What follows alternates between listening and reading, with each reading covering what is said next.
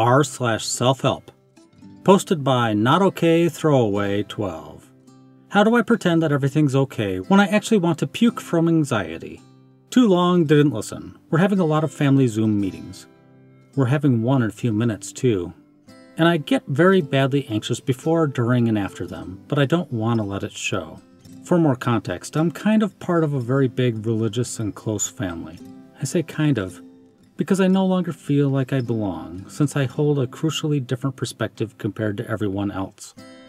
For example, I very deeply value my education, whereas they keep indirectly nudging me to just give it up and work for the religion instead.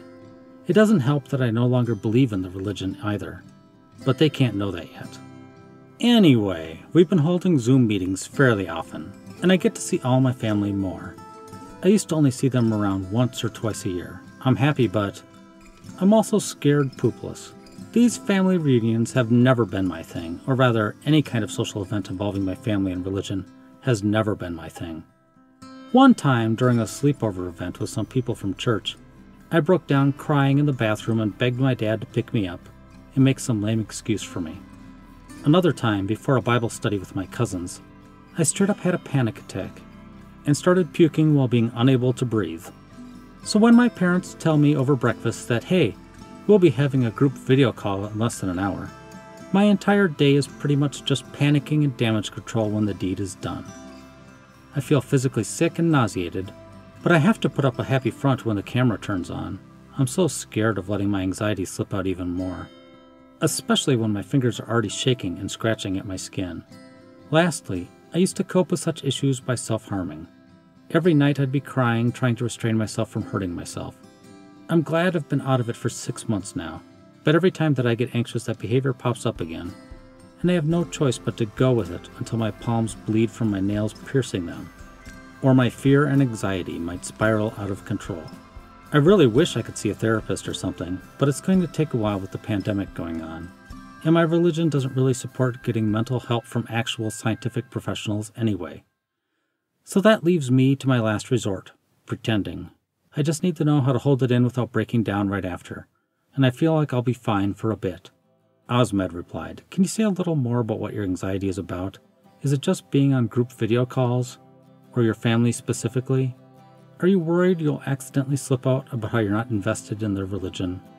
Would make it easier to give advice. OP replied, I suppose all three, but in varying degrees. I think it's mostly about my family. Even back then, when I still believed in the religion, I always felt like I was walking on eggshells around them. And now that I no longer have the same perspective that they have, it's just really killing me to keep such a big secret. Oh, I'm sorry, I don't think this will be much help at all, haha. it's somehow hard for me to explain. Basically, bad thoughts are all that come to my mind when I think of the word family. I think it's because throughout my childhood and up to now, I really haven't felt them being there for me when it counts. I do know what they're trying, though, and I love them, but it's just. yeah.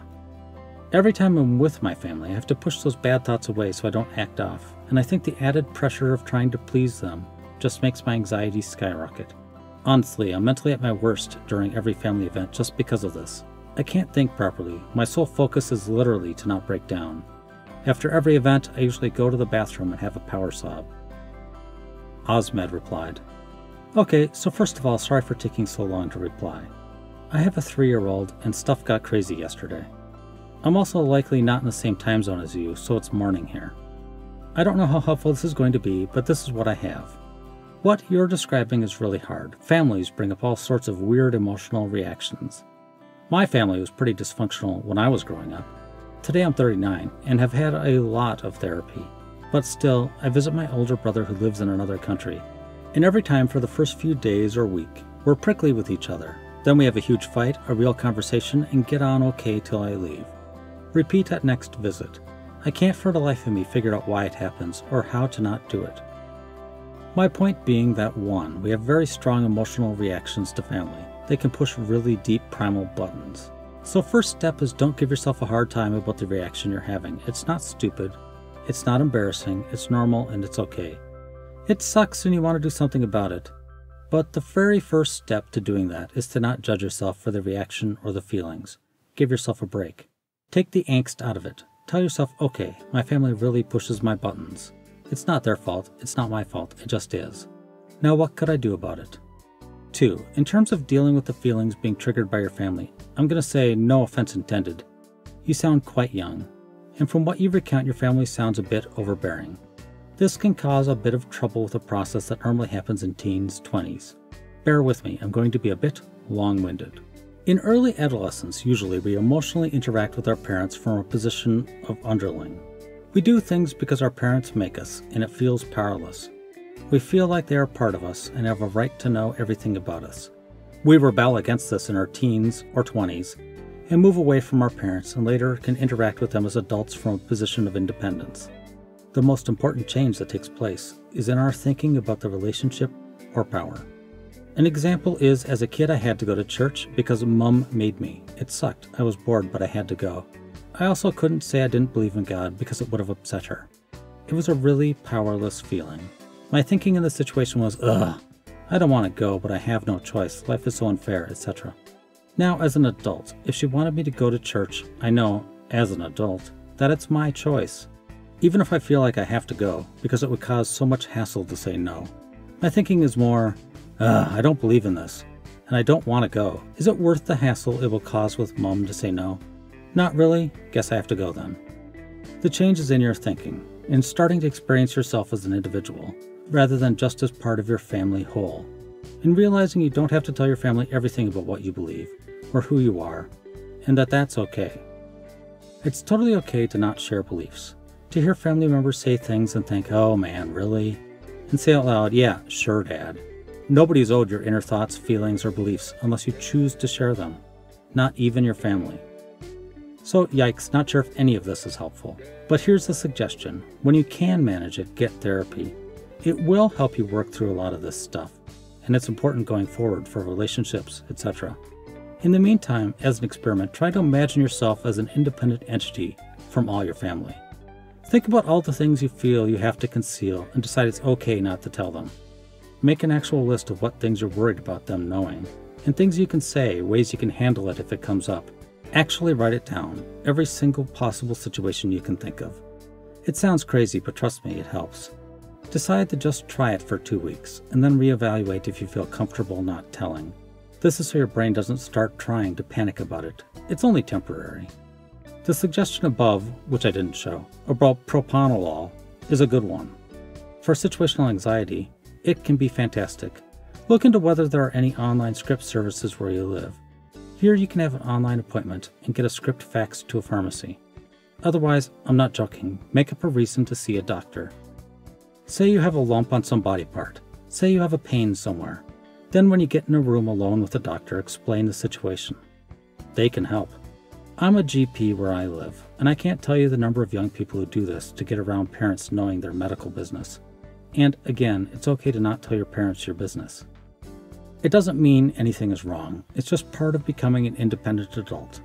But doing it on hard mode, when you have parents who aren't on board. From Mindful Mindsets Practice Beats Planning. A university professor teaching a photography class conducted an experiment on his students. Half the students were told that they would be graded on the number of photographs they produced that semester. If they created a 100 reasonably quality photographs, they would get an A. The other half of the class was told that they would be graded only on the quality of the best photograph that they produced. So, which group produced the best photos? Overwhelmingly, the first group the group that merely had to create 100 photos. Why?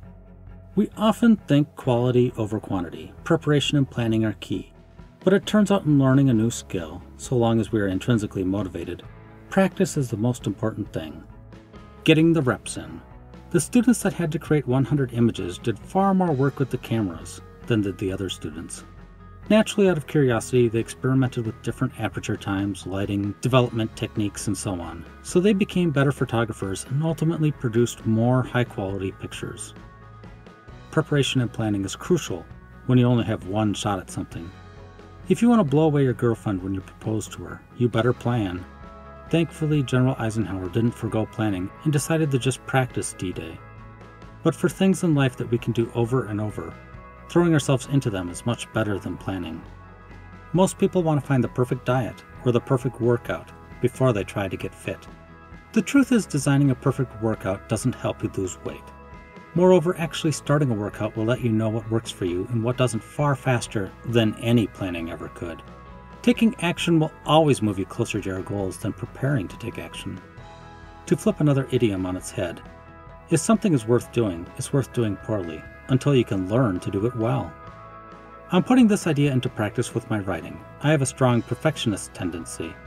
This is even more true for me with writing, where perfection is impossible. So I like to plan and prepare to write the perfect article. Ultimately, this planning serves as procrastination more than anything else. If I want to write one good article, one article worth publishing, I will have far more success if I write 100 articles than if I tried to only write one great article. I will learn so much more about what to say by writing 100 articles than I would by searching for the one topic I want to discuss. Often, when I sit down to write these articles, I change what I want to say halfway through. I only learn what is worth writing by actually attempting to write. The same is true for whatever you are trying to do. So get to it. Stop planning and start practicing. Have a bias toward action, because we can only get good at things by first doing those things badly. Hi Daddy Jose replied, I might have an idea to build on that. About a year or so ago, I started working out in a very similar way to how I suggest here. I had a broad goal to simply be active every day. Whether that meant weightlifting, yoga, cardio, basketball, cycling, or whatever. I tried to make sure I did something every day. Over time, I've gotten so much better as to what works for me, and I've learned a lot about how to work out more specifically to get the results I want. Since the pandemic, I've obviously been limited in my options, and I've begun focusing primarily on bodyweight exercises I can do at home. Since I'm focused into a more specific type of workout, I've begun to delve deeper into proper technique, doing a proper push up, crunch, pull up, etc. What I've realized is that even though overall I'm putting out less reps on any given exercise, by being mindful of proper technique, I'm actually able to gain a lot more and be safer in the long run. I think this approach could be a good analogy for other areas as well. To get as much output as possible while still being mindful and aware of any techniques that you learn along the way kind of reminds me of perfect practice makes perfect, though I might prefer something along the lines of thoughtful practice produces thoughtful work, or something like that. Of course, I'm mostly past the initial stage of experimentation and finding out what works for me and what doesn't.